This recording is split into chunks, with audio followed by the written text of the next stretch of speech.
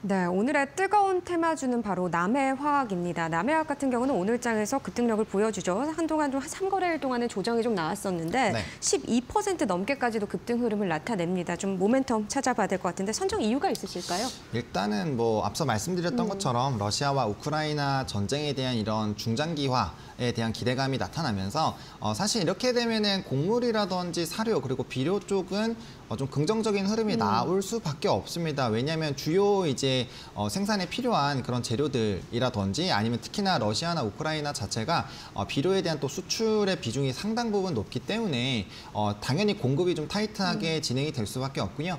일단 러시아가 파종, 아니 우크라이나가 파종 시기를 놓쳤죠. 예. 어, 그에 따라서 이제 전 세계적으로 곡물에 대한 우려가 확대가 되고 있는데 어, 사실 이제 이, 이대 국가죠. 밀 생산 국가인 미국 같은 경우를 좀 믿어볼 수가 있는데 일단은 이제 농작지를 굉장히 많이 늘렸습니다. 근데 그럼에도 불구하고 어, 작년부터 가뭄이라든지 이런 기후 변화에 굉장히 좀 타격을 많이 입고 있는 상황입니다. 그래서 어, 이런 경작지를 늘린다고 하더라도 어, 사실 우크라이나와 러시아 쪽에서 빠지는 이런 물량을 과연 이 회복을 할 수 있을까에 대한 우려가 화- 상당 부분 좀 커지고 있는 상황이고요. 또 주요 곡물도 많이 생산하는 나라가 또 중국인데 예. 중국도 이제 기후 변화에 따라서 홍수가 어, 계속적으로 나타나게 되면서 사실 이런 과거보다는 이런 생산량이 많이 감소를 하고 있는 상황입니다. 그리고 어, 지금 이제 파종 시기를 놓쳤다라는 부분을 좀 체크를 해보시게 된다면은 이러한 사태가 사실 1년이 아니라 2년, 어, 길게는 3년까지도 좀 넘어갈 수 있는 그런 상황이고 어, 관련된 이벤트들이 좀 부각이 된다라고 한다면 뭐 자연스럽게 뭐 비료라든지 사료 그리고 곡물 쪽은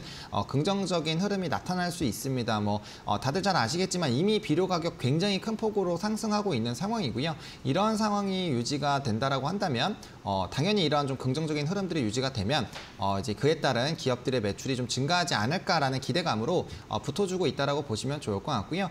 일단은 우크라이나와 러시아 이런 평화 협정에 대한 이벤트들이 좀 있었습니다. 예. 그러다 보니까 단기적으로 차익 실현이 나오고 어, 가격의 조정이 나왔는데 다시 한번 이런 서방의 제재들 그리고 어, 이제 무기라든지 탱크라든지 드론 같은 지원에 대한 이야기들이 나오게 되면서 어 그러면 이런 부분들을 좀 길게 가겠다라는 얘기가 붙으면서 다시 한번 좀 수급이 붙어주고 있다라고 보시면 좋을 것 같습니다. 그래서 어, 이런 사료 곡물뿐만 아니라 어, 사실 이렇게 시장이 흘러가게 된다면 다시 한번 뭐 천연가스라든지 유가 그리고 뭐 니켈이라든지 이런 원자재 관련된 종목군들도 어, 관심을 좀 많이 가져보셔야 되지 않을까라고 보고 있고요.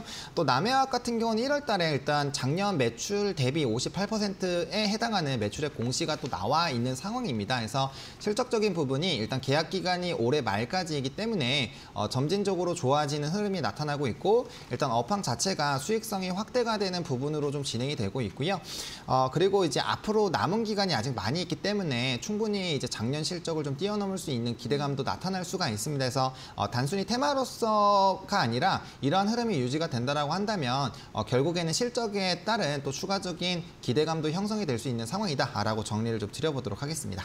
사실 제가 짚고 싶었던 부분이 바로 그 부분이었습니다. 이게 테마성이라는 의견들도 굉장히 많은 상황이거든요. 네. 지정학적 리스크가 장기화되는 부분들이 있어서 더 그런 부분도 있고요. 또 주가적으로 봤을 때 그럼 그 이후의 모멘텀은 뭘지가 가장 중요한 포인트인데 네. 남해화학 같은 경우는 중장기적 관점도 괜찮다는 겁니까 그러면? 그렇죠. 지금 뭐 비료라든지 사료에 대한 부분들, 특히 특히나 이제 원자재 쪽에서는 어, 곡물 부분은 좀 다르게 보셔야 되는 게 예. 예를 들어서 뭐 니켈이라든지 이런 부분들을 생산을 하지 않았을 때 물론 산업 적인 타격이 크지만 생존에 바로 직접적으로 연관이 되지는 않습니다. 근데 어, 이제 곡물이라든지 비료라든지 이런 부분들은 우리가 결국엔 먹는 쪽으로 가는 거기 때문에 이거는 어, 기간적으로 피할 수가 없고 또 이제 광석 같은 경우는 우리가 이제 과- 이런 광산들이 있기 때문에 생산량을 늘리거나 어, 이렇게 진행을 하면 되는데 곡물은 또 그게 어렵습니다. 그래서 어, 조금 다른 관점에서 보실 필요가 있지 않나라고 좀 말씀을 드리겠고요. 최근에 뭐 산불이라든지 어, 또 이런 이벤트들이 좀 있었다 보니까 그에 따른 이제 토지 또 건강을 또 생각을 한다면은